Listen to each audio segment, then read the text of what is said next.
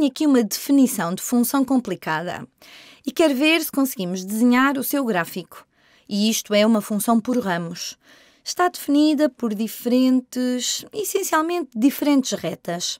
Vêem isso aqui, mesmo com todos os decimais e sinais de menos, isto é basicamente uma reta. Está definida por esta reta para este intervalo de x, por esta reta para este intervalo de x e por esta reta para este intervalo de x. Bom, vamos ver se conseguimos desenhar o gráfico.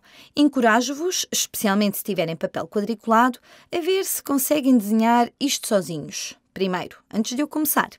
Então, vamos pensar neste primeiro intervalo. Quando menos 10 é menor ou igual a x, que por sua vez é menor do que menos 2, então a nossa função é definida por menos 0,125x mais 4,75.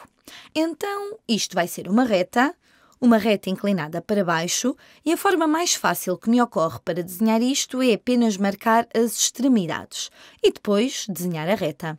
Então, quando x é igual a 10, desculpem, quando x é igual a menos 10, menos 10, teríamos menos 0, deixem-me escrever isto desta forma, deixem-me fazer isto aqui, onde faço...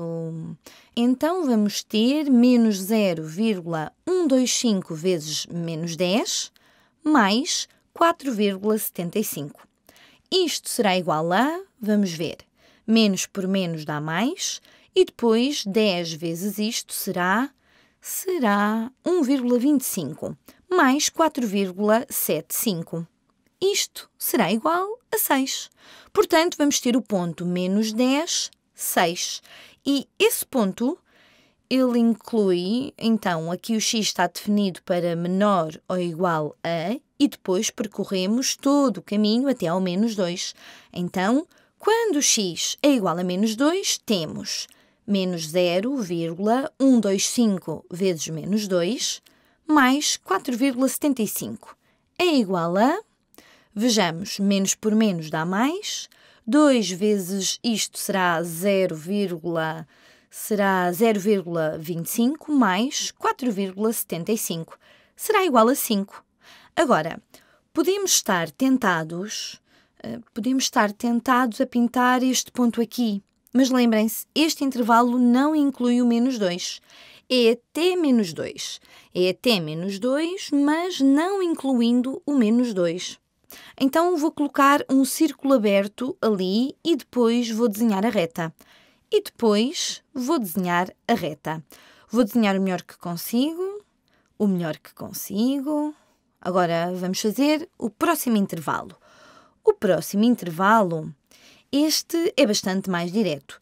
Começamos em x igual a menos 2. Quando x é igual a menos 2, menos 2 mais 7, menos 2 mais 7 é 5. Menos 2, então, menos 2, 5.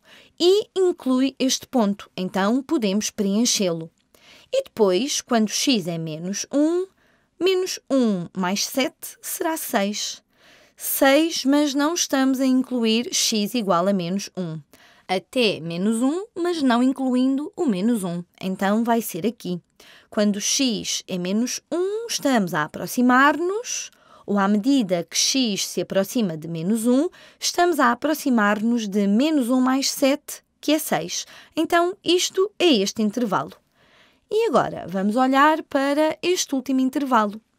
Este último intervalo quando x é menos 1, vamos ter, bom, isto vai ser apenas 12 sobre 11, porque estamos a multiplicar por menos 1, mais 54 sobre 11, o que é igual a 66 sobre 11, que é igual a 6. Então, aqui podemos preencher isto, e quando x é igual a 10, temos menos 120 sobre 11. Apenas multiplica isto por 10. 12 vezes 10 é 120 e temos o sinal de menos, mais 54 sobre 11. Então, isto é a mesma coisa. Isto será. Quanto é isto? Isto é menos 66 sobre 11, está certo? Vamos ver. Se vocês. Uh, sim, isto é menos 66 sobre 11, o que é igual a menos 6. Então, quando x é igual a 10, a nossa função é igual a menos 6. E esta função acaba por não ter saltos.